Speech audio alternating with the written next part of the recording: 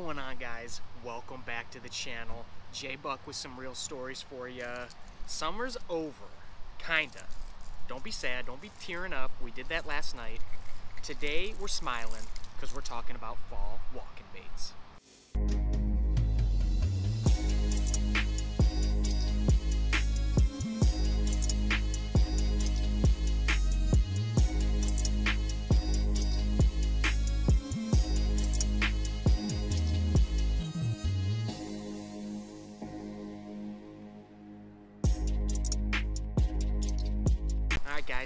Put together a quick handful of baits to talk to you guys about for that fall transition, that fall bite. You know, I love topwater baits. Everybody loves topwater baits. So I got a quick box here. We're gonna run down these baits that I think you guys should be tossing this fall. I mean, there's big fish coming. They're schooling up. These fish are getting together and they're focusing on dead, less active bait. I'm not saying you can't catch a big fish on a erratic square bill. That's still pretty effective but I really like to move to a more of a top water, slow, lethargic, suffering gill presentation. All right, for you guys that don't know what a walking bait is, I'm gonna assume most of you do. We're gonna do a quick rundown of what it is. You got yourself a long, more of a cylindrical profile of a bait, less bulky, but got a lot of presence in the water. Typically two or three hanging trebles, and then some of them have a cupped face but then when you're talking about cupped face you're kind of moving into the walk-in popper realm. But for the sake of this video we're going to talk about mostly big walk-in baits and then we're to cross over into some popping baits. This first bait i want you guys to consider. It's one of my all-time favorite baits and it's a light bait. Unfortunately it's about 20 bucks.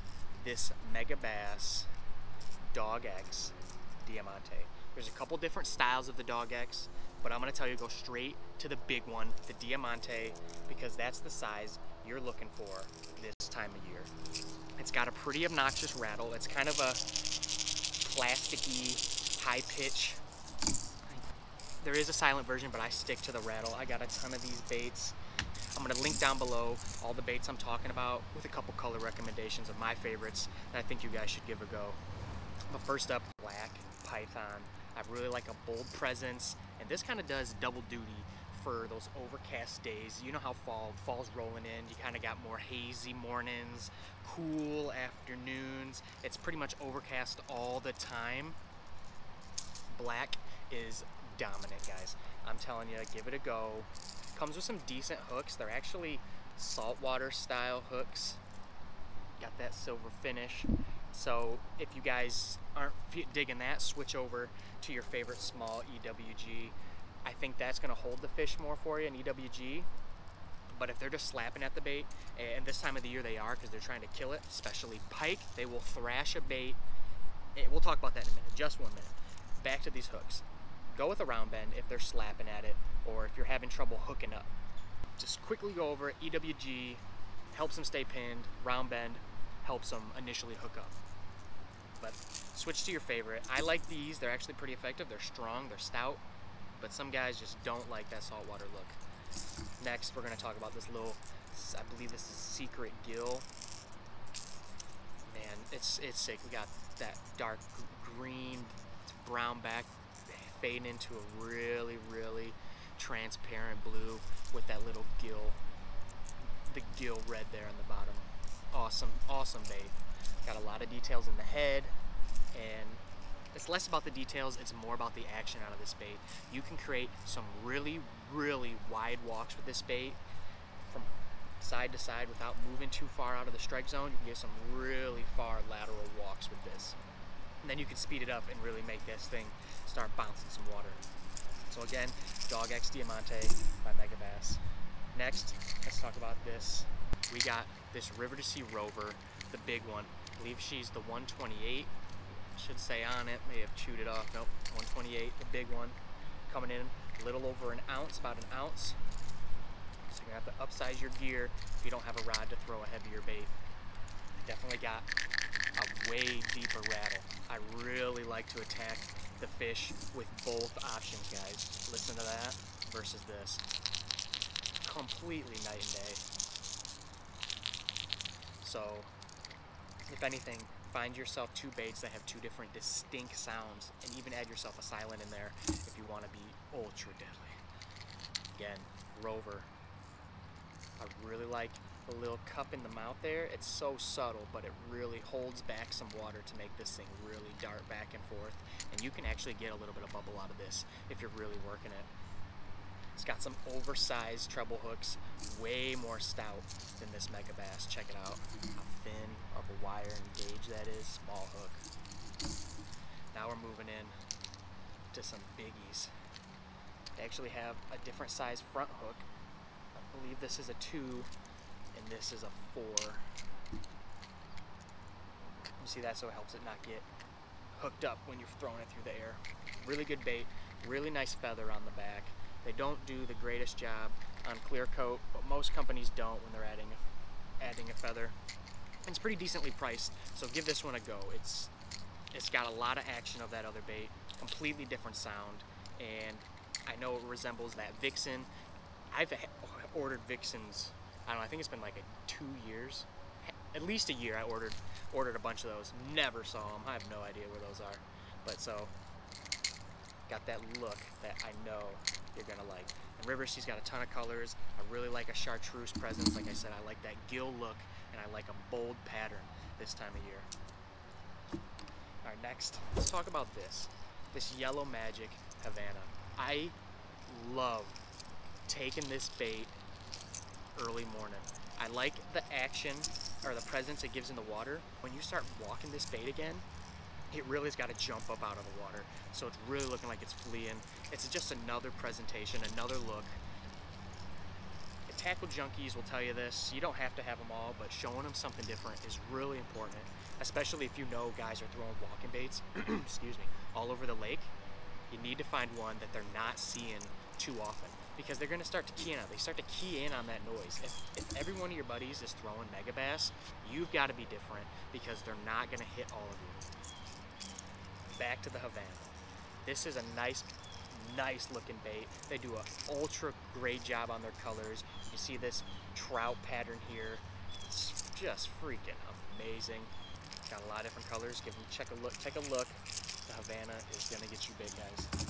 And kind of along that same line, this Duo Realis, this Pencil 110 gives you that look, being kind of vertical in the water rather than like this. So you're like this, and this is just a great color. I really like their gill colors. They put out they provide a lot of flash out of their baits. Honestly, not one of my top throwers, but when I do throw it, it gets bit. I really like throwing this around docks because this thing is nice. I can get it up under there a lot easier than some of these big baits. Duo Realis. I don't have much experience with this bait, but I've caught a bunch of fish on it, and it's just got another look. I want you guys to try it out and let me know what you think about it because maybe I'm gonna up up the amount of times I use this because like I said I just throw this around docks primarily and it's I'm sure I'm gonna be able to smash on other baits. All right, last on big old walking baits. Let's talk about this. You absolutely cannot leave your house going into the fall transition, into the fall topwater bite without a super spook you know, and if you don't have a bone one, DM me, guys. We're gonna figure out how to get you a bone super spook. This is like absolutely must have. You might transition away because there's so many sweet looking things out here, and this this just looks. Let's not even get into what it looks like. This thing smashes. This is old reliable, really ultra deep knock. and it's gonna get you bit. Hardware out of the box. This one this bone one comes with that saltwater hook. I don't like it. Haven't changed it on this one. I'm gonna change these out. So front red hook, but that's for another time. Super spook. This, the original walking bait that we were all talking about, that I was talking about, that I tried, you need to give it a go if you haven't. Even if you've been topwater fishing for years, if you haven't thrown it, you need to try it because it, it gets it done. Might not be as fancy as some of these things, but it absolutely gets it done. Walk is amazing. Just the, the, the lower rattle, even lower than this River2Sea. There's a little bit of glass or plastic in there. That is a very solid producer. pike act love this bait. So if you're on a pike bite or on a musky bite, throw yourself that giant spook. This is probably the most slender walking bait that I own. If I'm thinking, even though it's fall, they're kind of lethargic, the top water bite's slowing down. If I'm around an absolute ton of cover, this Rico Suave is where I'm throwing. It's, I don't want to say it, it's like my secret top water, that silent shh, shh top water, because in the water it just, it looks like it's not there, and it just gives just enough rattle, not overpowering, very plasticky, glassy sound, but it just slides. It this thing like swims through the water. This this bait takes a lot of time to master, to get a lot of bites out of. So if this isn't something you want to put the time and invest in, I wouldn't recommend it.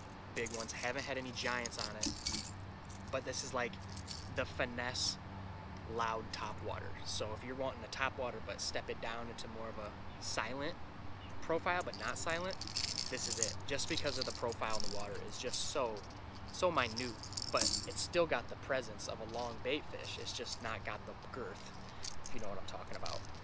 Rico Suave is definitely a niche bait that takes a lot of time to learn, but give it a go because it's gonna get you bit. And then it's something I guarantee you a lot of guys aren't throwing around you. All right, guys, we're gonna wrap this thing up with two baits here. First, saw a little bit of it. It's the shower blows. Let's grab both of them. The big one and the small one. I think this is a very overlooked bait. It has so much drawing power with that rattle. It sits horizontal in the water and in my opinion the most erratic top water if you want it to be you can get this thing walking really ultra ride walks, splashing water, or you can get it to just bob in place just because of this profile. This big meat butt, these big butt cheeks back here really hold that bait in place. But if you want to speed it up, you can get this thing dancing, darting, flopping, flying. This thing gets hammered a lot. I will say it gets missed a lot too. It gets blown out of the water. So if you if you're getting blown out of the water, just wait. Don't set the hook. I know it's really hard. Just wait. It was probably a pike trying to stun it. Just wait and maybe twitch it. Get yourself another bite. That's the super hard to do, but try it. If you're getting blown out, just wait. Just wait, wait, wait. Shower blows. Big one. And then the small one gets a lot less love just because this one's so effective. But for you guys that don't have the heavier gear, that just don't like a big profile, to be honest, my, my dad just does not like a big profile give them something that they're gonna have the confidence to throw, and then once they get bit, then they're gonna want to step up, or you're gonna want to step up. Smaller one just does not have the power as the big one, but it's an ultra great pencil bait. You can see we got this bass pattern here. It's got a little bit of flash. That just resembles a good fall pattern, guys. The eyes are just straight legit. And then it's the unique mouth of them all, one of the most unique faces in a bait on the water. All right, finally, last up, the Megabass Pop Max and the River2Sea Bubble Walker. I have a whole video dedicated to these baits on why you need to throw them. I'll link that above. Go check it out if you really want an in-depth look at these baits. But I'm gonna tell you to throw it Poppers are effective this year. I know we talked about walking baits, but poppers are effective. When you can get a popper that also doubles as a walking bait, you're golden, guys.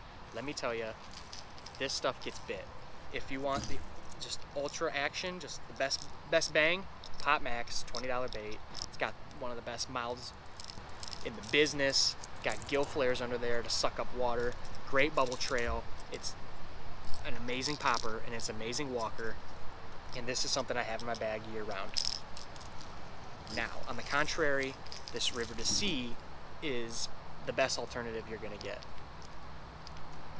It pretty much looks like the exact same bait. Biggest difference is there's no gill flare on the bottom that spits water like it does in this one, as you can see right there. But they still got the front and the mouth, and they have a different knock. Not exactly the same,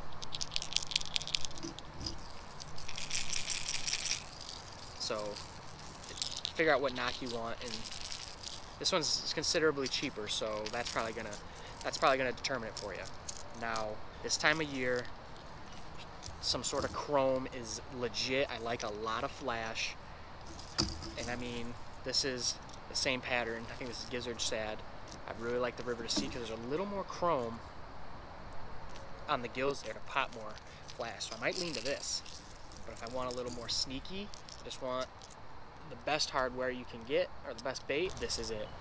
95% of the time, these baits are in my bag for the fall, guys. You don't want to miss out on a small pop-in walking bait. I know we talked about big ones. This is it.